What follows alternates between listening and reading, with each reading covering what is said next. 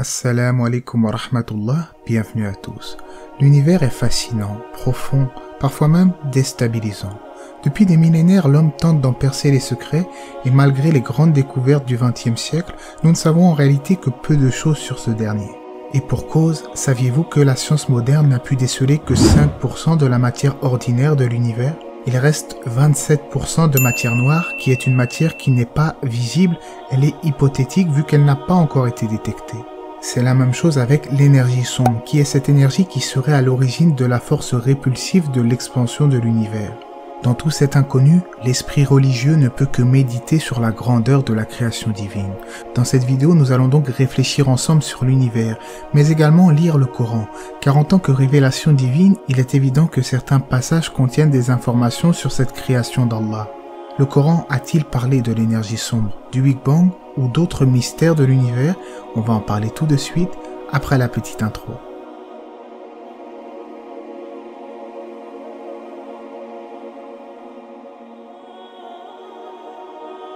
On va commencer avec la plus grosse part de mystère dans l'univers. 68% d'énergie sombre, énergie hypothétique indétectable jusqu'à présent.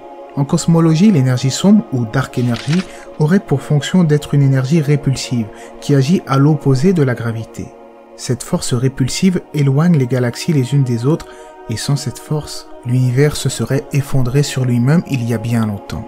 En effet, comme vous le savez peut-être, l'univers est en expansion permanente depuis le début du Big Bang. Ce qui est étonnant, c'est que le Coran nous informe de l'expansion de l'univers, mais aussi que ce qui fait que l'univers ne s'effondre pas est invisible à l'œil nu. Concernant le fait que l'univers est en expansion, il est dit dans le sens du verset As-sama, le ciel, nous l'avons construit par notre puissance et c'est nous qui l'étendons constamment dans l'immensité. Petite précision, à l'époque où le Coran fut révélé, le mot espace n'était pas encore connu. C'est pourquoi les gens utilisaient le mot as-sama pour faire référence à l'espace et à l'univers.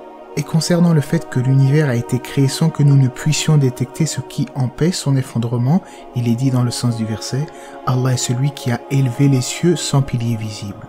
Alors est-ce que nous pouvons dire que ces piliers invisibles correspondent à cette énergie sombre que nous avons évoquée? Allah seul en a la connaissance, mais il y a déjà de quoi réfléchir rien qu'avec l'expansion de l'univers ainsi qu'avec toute cette matière indétectable subhanallah. Mais il n'y a pas que l'énergie sombre, il y a également la matière noire qui elle aussi est tout aussi indétectable. Elle demeure toujours un mystère pour la communauté scientifique. Alors que seulement 5% de la matière de l'univers a été détectée, force est d'admettre que même si un jour on en découvre davantage, il convient de méditer sur la parole d'Allah. Nous avons créé les cieux et la terre et ce qui est entre eux, qu'en toute vérité et pour un terme fixé. Parmi les plus grandes découvertes contemporaines, et on en avait déjà parlé, il y a la théorie du Big Bang. C'est un modèle cosmologique qui nous explique qu'à l'origine, il y avait une singularité, une masse compacte, avant que l'univers n'entre en expansion. Et cela correspond parfaitement à ce qui est dit dans le Saint-Coran, dans le sens du verset, Ceux qui ont mécru ne savent-ils pas que les cieux et la terre formaient une masse compacte, ensuite nous les avons séparés et fait de l'eau toute chose vivante. Alors, certains chercheurs prétendent, et c'était aussi le cas de Stephen Hawking, que le Big Bang aurait pu jaillir de rien, c'est-à-dire du vide.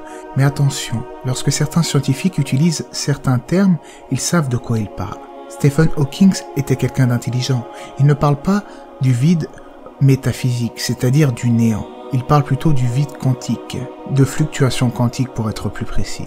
Mais avec les fluctuations quantiques, on rentre dans le domaine de la physique. Ce n'est pas rien, ce n'est pas le néant absolu. On pourrait donc toujours se demander d'où viennent ces fluctuations quantiques, qui a écrit les lois de ces fluctuations.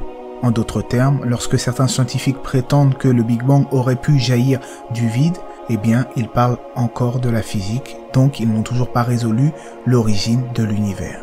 Quant au néant métaphysique, c'est-à-dire l'absence absolue de toute matière, toute personne douée d'intelligence sait que rien ne peut sortir du néant puisque le néant par définition n'est rien. Seul Allah peut créer des choses à partir de rien, comme il est dit dans le sens du verset. Il est le créateur des cieux et de la terre à partir du néant. Lorsqu'il décide une chose, il dit seulement soit, et elle est aussitôt. Au final, malgré les grandes découvertes scientifiques de notre époque, nous ne savons encore que peu de choses sur la création. Mais alhamdulillah, ce peu de choses nous permet de méditer, de réfléchir sur la complexité de la création d'Allah et de reconnaître notre propre ignorance.